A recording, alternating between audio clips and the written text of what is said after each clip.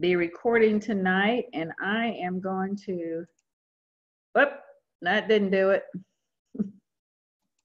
Trying to get my speaker view, and I, I say, wait, let me do this. Hold on. Hmm. Okay.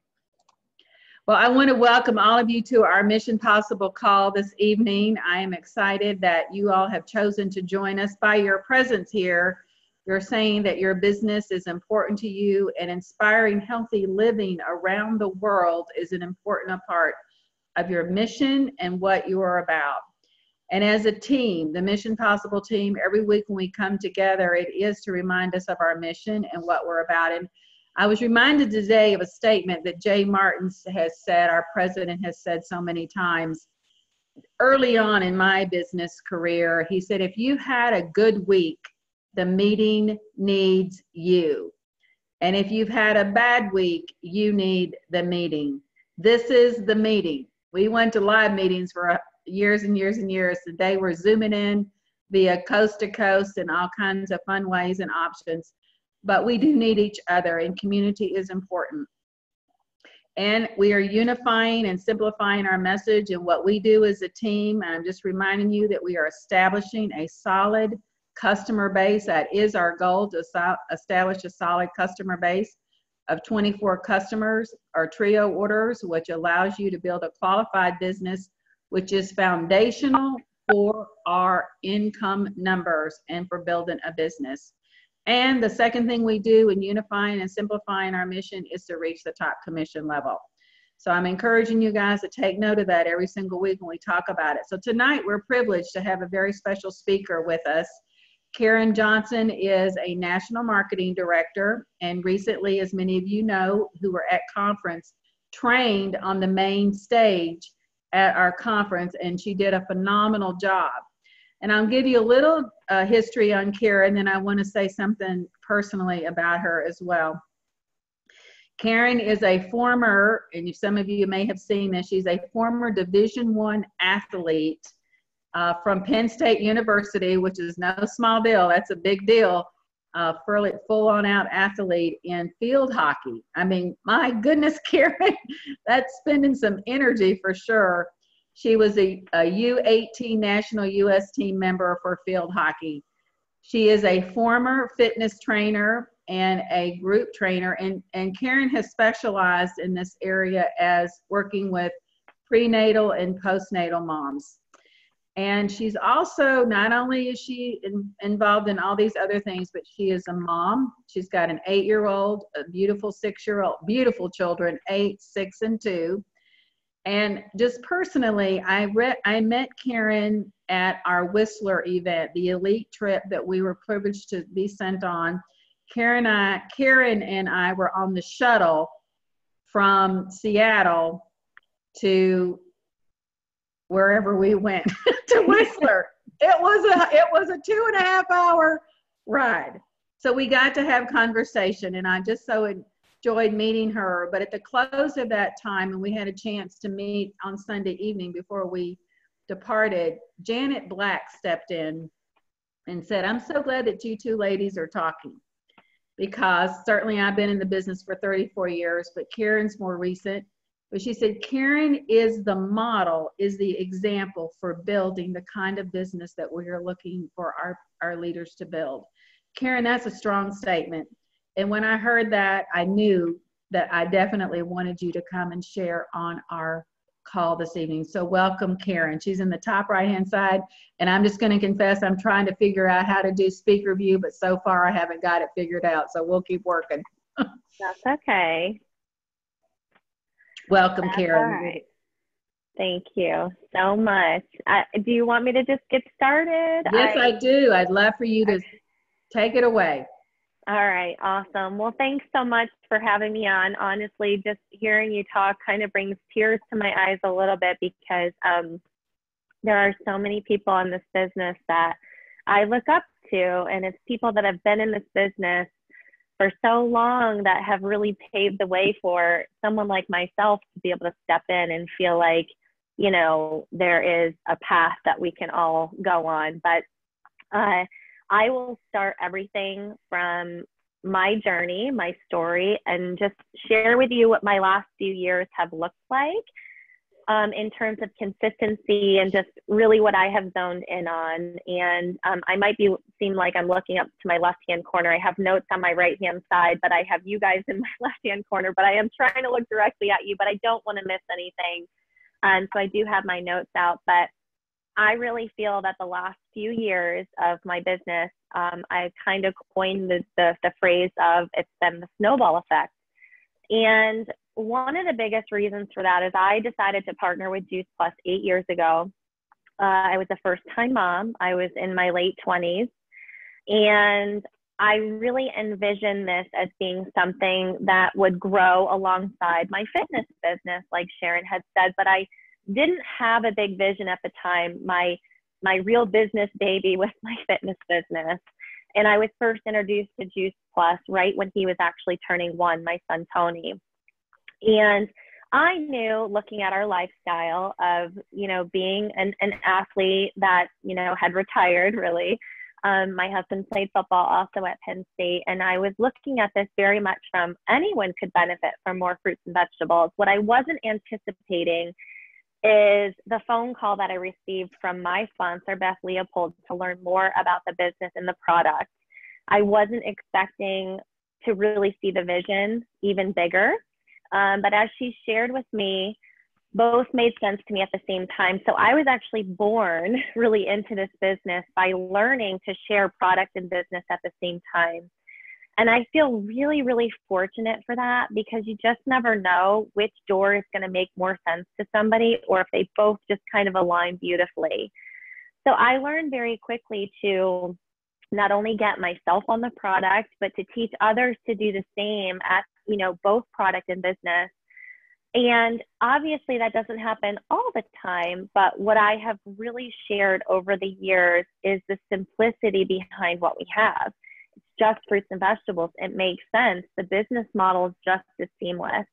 And as I really learned how to do that, um, that vision was certainly cast for me. So backing up a little bit, I had fast tracked to VF, went to my very first conference. I was um, a nursing mom. I left my one-year-old at home, but my sponsor shared with me that if I was going to do anything or thought anything of this business, I should come to conference. And that was really where the vision was painted for me very quickly, just like many people.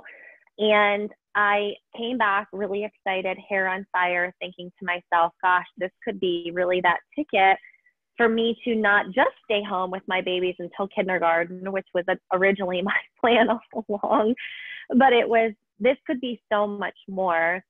And I'm so grateful for that first conference because I actually came back and a couple months, months later had reached the sales coordinator position. In short order after, we lost our health insurance for the first time, and I was actually getting ready to have my second child. And it was really at that point in time that I realized that the, deg- the degree that I had from Penn State didn't matter. The degree that my husband had from Penn State didn't matter because life was happening around us. And losing their jobs from underneath of them. And so I thought to myself, this business model is something that I could really, really embrace. And we did move um, into a new position for my husband. And about six months later, the exact same thing with a second company happened.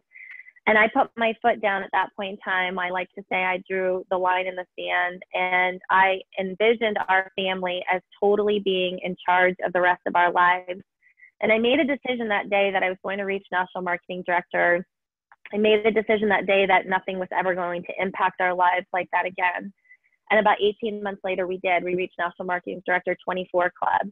And the reason why I share that and share this vision so strongly is because I know that there are people out there that want more for their life, from their life, for their life. And it takes that switch of the mindset to say, I'm going to do this and it just takes leaning in. And so the month that we actually moved to Columbus, Ohio from Pennsylvania is the month that we reached national marketing director. And I was really excited, obviously, for that call, but I quickly realized that I was moving to a new state and I was leaving my team and everything that I had built in State College felt like it was kind of quickly moving away just as fast as I had built it. Obviously, it wasn't, but in my mind, I wasn't, I didn't have access to my team anymore. And I wasn't going to be there physically, and I wasn't going to be present at the events that we used to do. And at that point, I had really built my business to national marketing director by using three way calls. However, definitely building for those in person events that we would typically have two to three times a month. So I became a bit paralyzed right? I became a little bit nervous on how am I going to rebuild this in, in Columbus. And there were a few things that happened in that process, but through that time frame of being a little bit paralyzed, I had to go back to the basics of how I really built this business to NMD, and that was getting involved with the community and plugging myself in. And so I had gone to my daughter's gymnastics class that I had signed her up for, and I meant that I met one of my really good friends now. Uh, her name's Carly, and I had connected with her. We connected on social media and we virtually built our relationship over social media, which a lot of times we hear at this day and age. But again, the concepts remain the same. Like when it comes to relationship building, we would get together outside of the gym, we would do certain things. And that was really a huge piece for me moving into Columbus of recreating what I originally had thought that I, you know, could continue to, to do in, in, in Pennsylvania and that I was doing that in Columbus. And it all came back to some really specific things that I feel that anyone in their business at any position can create their snowball effect. So I had to get back to the basics of consistency, right? I was sharing with people around me, I was sharing the product, I was intertwining my business story. And at this point in time, my business story I felt was stronger than ever because you know, we had lost our health insurance twice, and I was, you know, a mom of two at the time, and we moved to another state, and the business is transferable. You know, it's transparent; you can move wherever. And so I felt like I had a really strong business story, but I wasn't being consistent with that sharing piece, and I also wasn't being consistent with my team. And that was like big piece for me to really consider like what am I spending my time on? You know, uh, am I feeding my team? Am I am I feeding the teammates that are coming on? And that consistency piece continue to build and develop. And that was a real big piece for me to get that snowball really going again. And you know, not only having events that were virtual, and I don't I don't necessarily mean Facebook events. I'm not really I'm big into those, but I am talking Zoom events, you know, like sharing the product and sharing the business and, you know, kind of putting my own spin on like a Karen Jones event uh, and really making that a piece of it. But that was kind of what I consider like a micro activity. The macro activity was, you know, the in person events and getting those butts and seats and the corporate events that were coming to Columbus, going back to the basics of that consistent piece of me showing up, me being there. Even if I didn't have team in Columbus, I still had to show and, mm. and fuel myself and that's where that built and continued because then as team was developing, as I was being consistent and sharing, I was plugging them in. And that was something really, really crucial for me to to think about. And my consistency with my upline support, you know, am I bouncing ideas off of them and strategizing, you know, where that consistency was coming into play. And another big piece for me was my mindset you know, what am I fueling myself with every day? What am I telling myself? Uh, I really had to have a bigger presence, I felt, not only in my own personal life, but also for my team. And I think I shared from main stage that I, I really feel that whatever's happening in your personal life always kind of comes out in your business. And when we had mer- first moved to Columbus, we had just built our first home. We had never built a home before. We were in not a great area of town in Columbus that we weren't really excited about, but it was a really quick move and transition. And I realized that all of these things were playing a factor into how I was running my business. I was more really, really concerned what was happening there instead of really focusing on how I could keep growing and plugging in. So that mindset, that shift was really huge for me. Um, to constantly tap into how I can be better, how I'm showing up, you know, um, physical presence for me was huge because I, I, I wanted to make sure that I was working out and fueling myself well with food and drinking my water and all of that was a huge effect in my mindset and just what I was waking up to every single day and how I wanted to be. So I had to make a real big shift with that. And I think one of the big things is too is that I believed so much in my team that I didn't have a lot of belief in myself. And so when I looked at these beautiful teammates that were developing in my in my business, I'm like, they're looking up to me to to really show up. And that's really where a huge shift for me happened to continue to show up the way I would want someone to show up for me.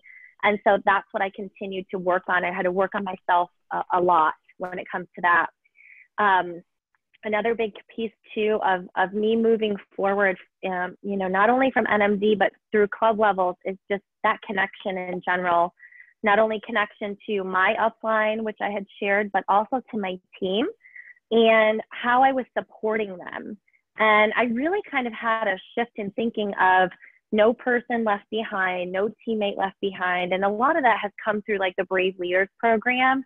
But I, I had to really embrace that because I realized that I really was that dot to kind of connect all the pieces. And of course, there's leaders in between, but teams fall out sometimes and leaders fall out sometimes. And I had to really step in and support these individuals.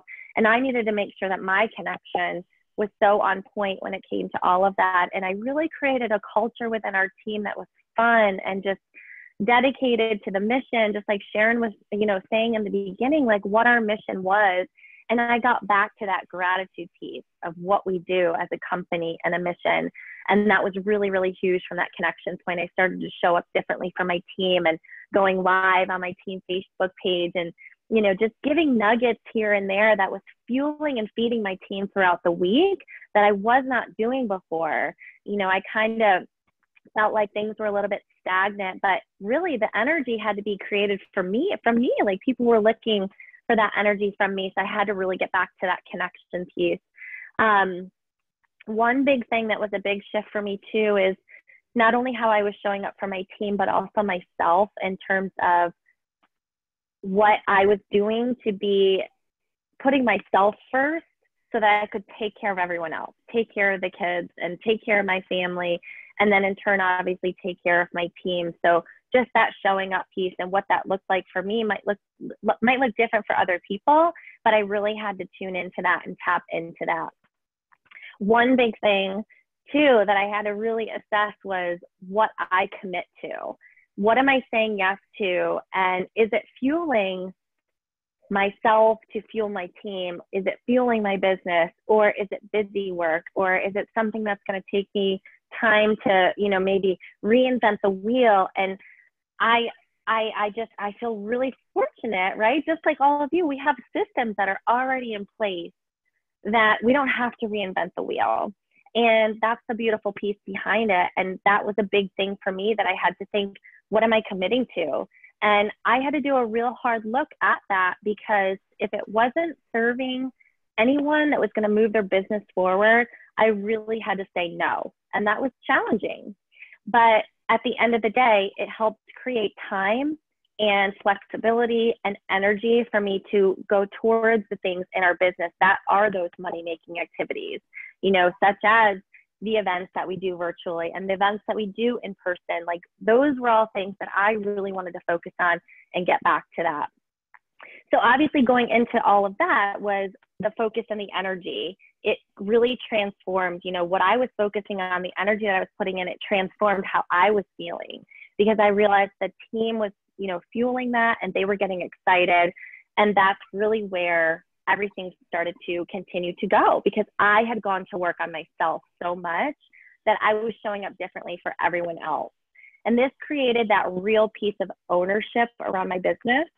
And I realized my sponsor a year, about a year ago, for around Christmas, had offered us the opportunity to pick out, um, it's called a My Intent bracelet. So, My Intent. And with those bracelets, you can put any sort of word on it. And I was at a place in my business in Columbus, you know, kind of new here, that I realized I wasn't owning my business like I really could. And I wanted to do that. I didn't want to rely on anyone, right? If it's to be, it's up to me, is kind of the mindset that I had in terms of moving forward.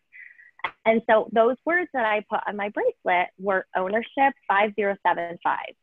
And ownership's pretty self explanatory, but the 5075 was okay, Karen, what's this?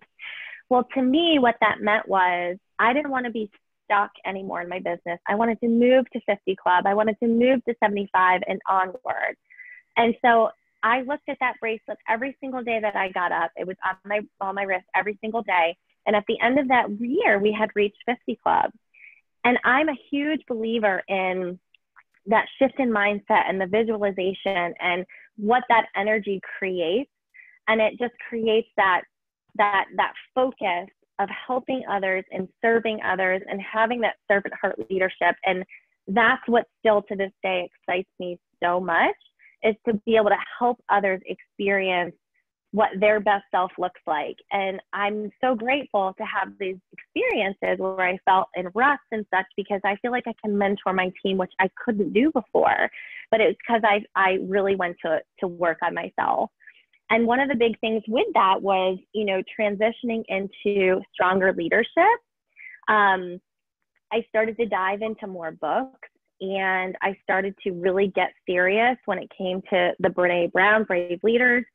And through the whole process of doing that, I realized there were things already in my life that had held me back from being the best that I could be. And to make a long story short, I had really lived my whole life with thinking that I was pretty average. It was okay to be average, kind of fly under the radar. I had shared that a little bit from main stage too. But what I realized what that was doing to myself is I was I was making myself live smaller than I needed to. And I feel that it's okay to own into and, and fall into the best version of yourself. And that is not at all being you know, egotistical or whatever. It's just embracing who you were born to be. Mm-hmm. And I feel that God has put me in a place to be able to accept that it's okay to shine and be, you know, that light that people are looking for because I'm going to help them create that for themselves. And I feel so passionate about that. And if you would have asked me eight years ago if I would ever be doing this, I literally was the person that when people came into the elevator, I looked at the ground. I mean, I was that shy of an individual. And um, this business has just created uh, just such a powerful, amazing force in my life that I just, I love to give back to that and help others create that same vision for themselves. And that leadership piece was definitely a big, big piece of it so it, this whole entire process has created me to be able to show up differently for everyone in my life and my mm-hmm. family. And the specifics and the basics of this business are sharing the product, sharing the business, intertwining both where you can, and plugging into every single opportunity to learn and to grow and just be the best person that you can be. And I, I feel really, really grateful that I have been able to embrace the connection of three way calls to build my business, but I also really respect that not everyone's business looks like that and every area is a little bit different. And so, for what I teach is like a really happy balance of everything. And I love that. And I always love to ask people, you know, what's really worked for us is when somebody new comes into the business and they want to lift off, I always ask them like what they love to do. Because if somebody really loves to be in front of the room, I'm certainly not going to offer them a virtual event. I could, but I want to I want them to feel like they're winning at what they're doing. And if they love that, that's really what I'm going to kind of share with them to do. And so I have a really good mix of everything. We have some pockets of individuals across the country that just do three way calls. And then we have some people that are just totally building for in person events. And I love to teach all the different spectrums because you just never know where that happy balance is going to come in for someone. And when I had first moved to the Columbus area, when I had Bilton State College, we didn't have corporate events. I mean, the area was so untapped. We didn't have corporate events. The very first person that ever came out was Ron Watkins, and it was when I was a senior sales coordinator. So I had really just built my business off of three way calls, but I was significantly changed by that in person piece of it, learning how to invite and what to say and getting people there because it created that huge, huge vision. So we have a happy balance of everything. Of course, we have systems in place when you know people really fast track to VF and we go into coaching and such. But what's really working for us is a really nice balance of everything, but making sure for sure that we're building in between the goalposts we call that conference to conference, and then plugging people into those micro activities through the year. So that's what's really, really worked for us. So I'm, um, you know, now a mom of three. My my son Declan uh, is two now, and we just have such incredible product stories when it comes to everything that we've experienced. You know, we have um, only had well visits, and it's just been amazing. And my youngest son was actually born, and he was a NICU baby. He was born five weeks early, but he had what was called intrauterine growth restriction, which basically means I stopped growing, which means he stopped growing. My belly wasn't growing anymore. And he was born totally healthy with a Juice Plus baby, no oxygen, no nothing. So when it comes to this product, I've got those amazing product testimonies that I can share. But I'm so passionate about passionate about the ins and the outs of this business that honestly, just like I did tonight, which I didn't even realize, I kind of share that product piece last because I want people to really see what's at their fingertips with this business.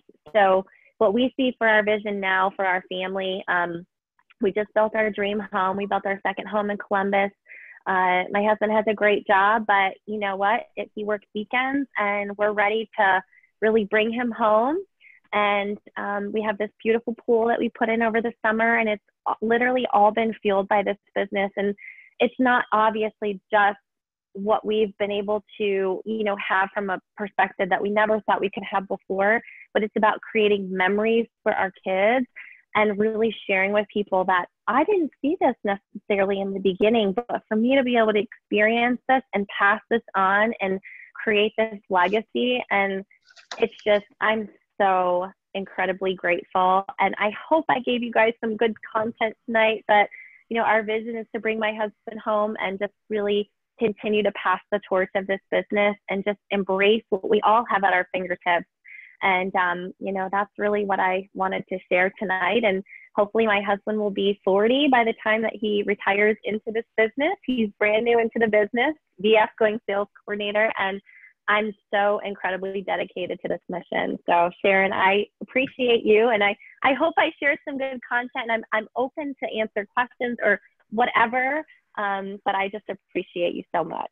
Oh, Karen, thank you, thank you, thank you. I have taken notes upon notes upon notes. You have said some very valuable, profound things. So I can only when I when you talk about going back to the basics, and that is always just a good direction for everybody, and using a mix of all the resources that we have, not just the pendulum over here on one side or the other, but using a balance of everything of connection calls and events and live events and and um, just you know online events. Those are all resources and we need to be utilizing them. So i am thrilled. I loved our connection when we were in Whistler. We had a great time visiting on our way it was Vancouver that we flew in and, and drove to Whistler but certainly, um, and one thing you did say when you were building that you were doing live events two to three a month. And I think that is a key piece that people often fail that they can do. We can do an event here, maybe three months later. But if you really want to build a significant duplicatable snowball effect business, that's two to three events a month that you're participating in. Yes, and they were so simple too. Honestly, they were the same when we were really building. It was wine and wellness at a local spa. And we stayed consistent with that because people loved it. So, yeah, I mean, you can always mix it up, but it was like the bread and butter for us was that. I don't know. It just really was so fun. I hear you. I hear you. Well, I want to thank you. And I'm going to take this off of gallery view so everybody can thank you and we'll open it up. I think I can take this off of gallery view. I don't know. Let's go this. Okay, I did it. Thank you. Is this been fun or what tonight to have Karen on our call? And I know that you guys want to just maybe give a big hand clap and say thank you, thank you. Hey. Thank you so much, Karen. Thank you. Awesome. Thank you, Karen. We will You're welcome. Great. Thank you so much for having me. I appreciate all of you. Have a great night. Thanks, Karen. Good night. Thank you. Good night, everybody. Night. Night. Shine the Night, light. Sharon. Bye. Love you guys.